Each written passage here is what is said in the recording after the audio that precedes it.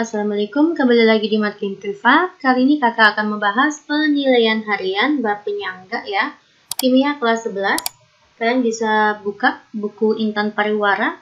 Saya akan bahas mulai dari nomor 1. Disediakan larutan-larutan berikut.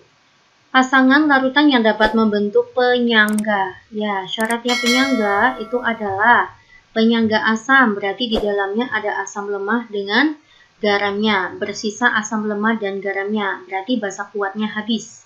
Ya, jadi kalau, kalau dari reaksi asam lemah ditambah basa kuat, menghasilkan garam dan air, nanti yang bersisa itu hanya asam lemah dan garamnya. Basa kuatnya habis, begitu ya. Kalau penyangga basa, ya basa lemah ditambah dengan asam kuat, menghasilkan garam dan air. Nanti yang sisa siapa? Yang sisa basa lemah dengan garamnya. Asam kuatnya habis. Gitu guys ya. Oke, saya akan cek dulu NaOH, ini adalah basa kuat. Berapa mol? Rumusnya mol adalah M dikalikan V. 25 dikalikan 0,1 itu 2,5 ya milimol. CH3COOH itu asam lemah. 25 kalikan 0,1 2,5 milimol. NH4OH itu adalah basa lemah. 25 ml kalikan 0,2 itu adalah 5 milimol. HCl itu adalah asam kuat. Ya, berapa mol di sini? 2,5. KOH itu adalah basa kuat 5 eh, milimol. Ya, manakah yang membentuk penyangga? Poin A, 1 dan 2. 1 itu apa? 1 itu basa kuat. 2 itu apa? 2 adalah asam lemah. Boleh nih basa kuat ditambah asam lemah, tapi dengan syarat asam lemahnya sisa, basa kuatnya habis. Nah, kita lihat basa kuatnya 2,5 milimol. Asam lemahnya juga sama, 2,5 milimol. Artinya dua-duanya habis. Kalau dua-duanya habis, maka ini akan membentuk hidrolisis garam. Bukan penyangga. Begitu ya guys. Oke, saya akan bahas untuk poin B. Poin B adalah 1 dan 3. Satu itu adalah basa kuat ya, 2,5 milimol. Tiga itu adalah basa lemah. Oh, ini nggak bisa ya. Basa kuat dengan basa lemah itu bukan syarat penyangga. Poin C adalah 2 dan 4. 2 apa? Asam lemah ya. 2,5 milimol ditambah dengan 4. 4 itu asam kuat. Tidak bisa ya. Asam lemah tambah asam kuat tidak bisa menghasilkan penyangga. Poin D 3 dan 4. Basa lemah ya, 3, 5 milimol. 4-nya itu apa? Asam kuat. Asam kuat. 2,5 milimol. Betul ya? Nanti basa lemahnya sisa, asam kuatnya habis. Ini habis. Maka poin D itu membentuk penyangga basa. Ya, bersisa basa lemah dengan garamnya. Asam kuatnya habis. Oke, jawabannya adalah D. Kita masuk ke soal nomor 2 sebanyak NH4OH 200 ml 0,4 M mempunyai pH 11 plus log 2. Ditambahkan ke dalam HNO3 200 ml 0,2 M. pH campurannya berapa gitu ya? Ya. NH4OH itu adalah basa lemah, HNO3 itu adalah asam kuat. Nanti hasilnya apa, Dek? Hasilnya itu adalah NH4NO3 plus H2O. Ini garamnya. Saya akan buat dulu mula-mula reaksi sisa. Ya, berapa mol ini? 200 kalikan 4 itu kan 800 ya. Maka ini 80 milimol. Ini 400, maka ini 40 milimol. Ya, ini berarti habis ya biar habis kan saya kurangi 40 maka sini min berapa mbak? Min 40 ya. Ini 40 maka sini plus ini dalam keadaan mula-mula belum kebentuk apa-apa ya. Plus 40 juga. Nah kayak gini. Ya oke. Berapa pH nya ini penyangga basa ya karena bersisa basa lemah dengan garamnya. Rumusnya itu adalah OH sama dengan KB dikalikan mol basa lemah, di sini adalah NH4OH, dibagi dengan mol asam konjugasinya. Asam konjugasinya adalah NH4 ya. NH4 itu ada satu. maka nanti garam dengan asam konjugasi molnya sama. Saya pakai NH4NO3 saja. KB-nya berapa mbak? KB-nya belum ada ya, tapi di soal ada ini nih deh. NH4OH tuh pH-nya 11 plus log 2. Padahal NH4OH itu kan basa lemah ya. Maka rumusnya OH sama dengan akar KB dikali dengan M. KB-nya nggak tahu. Konsentrasinya NH4OH itu adalah 0,4. 4 kali 10 pangkat min 1. OH-nya berapa mbak? Kalau misalkan pH-nya 11 plus log 2, berarti kan POH sama dengan 14 dikurangi pH, dikurangi 11 plus log 2. 14 kurangi 11 itu kan 3. 3 min log 2. Maka OH minnya 2 kali 10 pangkat min 3. Kedua ruas saya kuadratkan ya, maka 4 kali 10 pangkat min 6 dibagi 4 kali 10 pangkat min 1, itulah nilainya KB ya. 4-nya hilang, maka nanti nilai KB 1 kali 10 pangkat min 5, begitu. Saya masukkan ya, 1 kali 10 pangkat min 5, mol basa lemahnya itu adalah 40, mol asam konjugasi lihatnya di garam itu juga 40 ya. Maka nanti POH-nya 5. pH-nya adalah 14 dikurangi POH. POH-nya 5 ya. 14 kurangi 5 9. Begitu. Ya. Semoga kalian bisa memahami. Kita masuk nomor 3. Jika sebanyak 0,8 gram kristal NaOH saya masukkan ada NaOH 0,8 gram. Ternyata MR-nya adalah 40. Dimasukkan ke dalam HCOOH 300 mili 0,2 M. Ka-nya 4 kali 10 pangkat min 4. Dihasilkan larutan bersifat apa? Oh gitu ya. Ya, saya akan buat reaksinya menjadi H COONA plus H2O.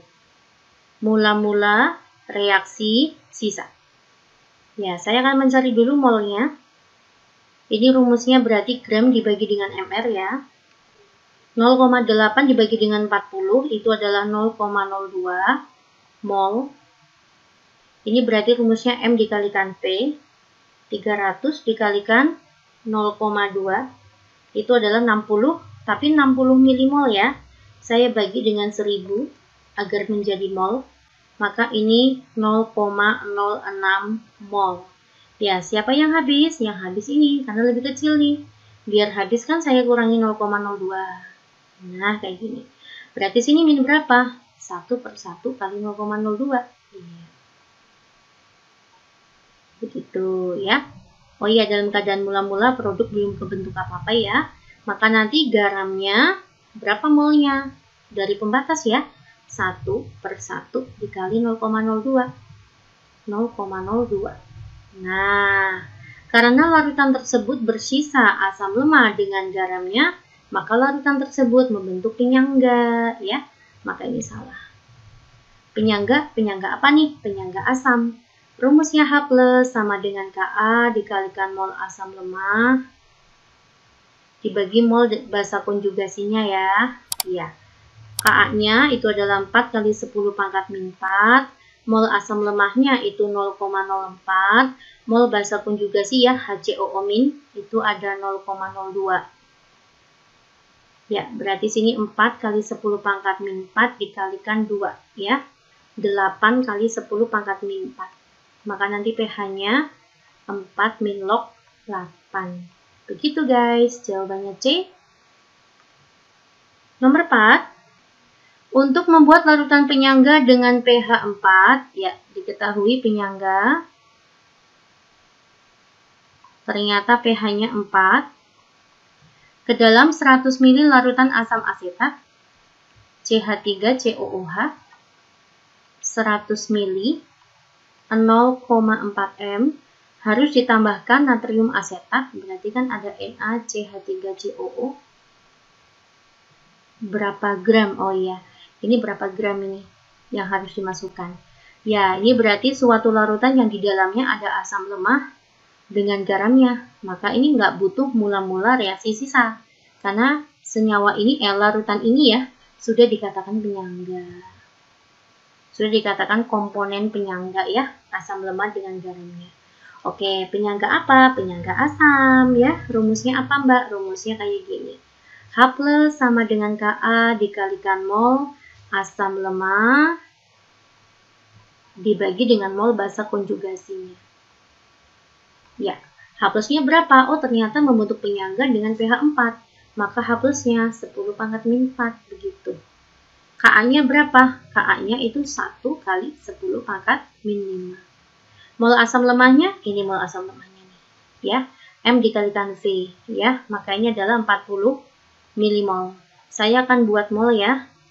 Maka 0,04 ya, 0,04 mol. Ya, saya akan masukkan ke perhitungan 0,04 mol. Nah, setelah itu ketemulah molnya CH3 COO min atau bahasa konjugasinya. Oke, saya akan hitung kembali. Ini hilang.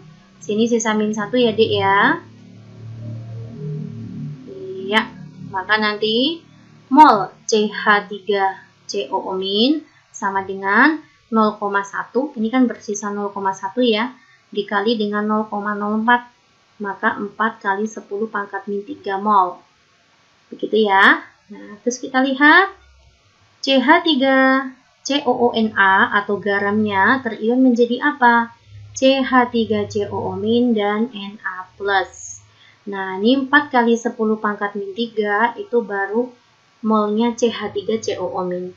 Berarti molnya CH3CONA berapa? Ya, 1 per 1 dikali ini. Nah, berarti molnya sama ya.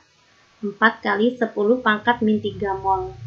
Berapa gramnya? Ya, kita mencari gram. Itu rumusnya adalah mol dikali dengan MR-nya.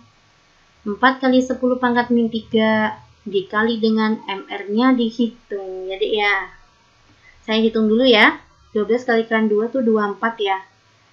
Ditambah 3, ditambah 16 kalikan 2, 32, ditambah dengan NA itu 23. MR-nya 82, Dek. Ya, 82 dikali dengan 4 itu adalah 328. 328 dibagi 1000 ya 0,328 gitu. Semangat, silakan kalian ulang kembali ya. Semoga bisa dipahami. Jawabannya adalah B. Nomor 5. Campuran larutan penyangga yang terbuat dari CH3COOH. Ini adalah asam asetat ya, asam lemah dan KOH 0,1 M membentuk penyangga dengan pH 5 min log 2,5. Jika Ka-nya adalah 1,5 log eh sorry 1,5 kali 10 pangkat min 5 perbandingan volume asam asetat dan KOH. Ya. Ditanya VA banding VB-nya. Ini berapa guys? Oke, saya akan buat dulu reaksinya maka produknya adalah CH3COOK dan H2O. Nah, ini kan volumenya masing-masing belum ada ya. Saya anggap ini adalah VA, ini adalah VB. Mula-mula reaksi sisa. Gitu ya, guys. Ya, kita akan mencari mol. Rumusnya mol adalah M dikalikan V, maka 0,3 VA, 0,1 VB. Ya, ternyata membentuk penyangga dengan pH 5 min log 2,5 kan pH asam ya, maka penyangga asam. Karena penyangga asam, maka basa kuatnya wajib habis. Biar habis dikurangi berapa mbak? Ya 0,1 Pb. Begitu. Maka sini juga min 0,1 Pb. 0,3 Va min 0,1 Pb. Nah, maka sini plus 0,1 Pb. Nah, kayak gitu ya. Semuanya mengacu ke mol pembatas. Oke, saya masukkan ke rumus penyangga. Eh, maaf. Oke, saya masukkan ke rumus penyangga. A plus sama dengan Ka. Dikalikan mol asam lemah ya. Dibagi dengan mol basa konjugasi. Lihatnya di garam, CH3COO min. H plusnya berapa ya Mbak? Oh, ternyata penyangganya 5 min log 2,5. Maka H plusnya 2,5 kali 10 pangkat min 5 KA-nya itu adalah 1,5 kali 10 pangkat min 5. Mol asam lemahnya adalah 0,3 VA min 0,1 VB. Ya, mol basa konjugasinya itu adalah 0,1 VB. Kita hilangkan ini. Kita masing-masing bagi 0,5 ya. 2,5 dibagi 0,5 itu adalah 5. 1,5 dibagi dengan 0,5 itu adalah 3. Nah, ya. Oke, saya pindah ruaskan ke sana, saya kali. 5 dikalikan 0,1 itu adalah 0,5 VB. Lalu kita kalikan pelangi ya, jangan lupa ya. 3 kalikan 0,3, 3 dikali 0,1. Maka menjadi 0,9 VA min 0,3 VB. Ya, saya jadikan satu ruas, ini ke sana. 0,5 ditambah 0,3 itu 0,8 VB. Di sini 0,9 VA. Mintanya itu adalah VA banding VB. Ya, maka VA-nya tetap di sini, VB-nya pindah ruas ke sana per VB. Maka nanti ini 0,8-nya tetap, tinggal 0,9-nya ke bawah. Ya, inilah perbandingan VA banding VB. 8 banding 9. Oke ya guys, semoga bermanfaat. Saya bahas 5 soal terlebih dahulu untuk kalian belajar di rumah. Ya, simak kembali video makin privat lainnya. Assalamualaikum.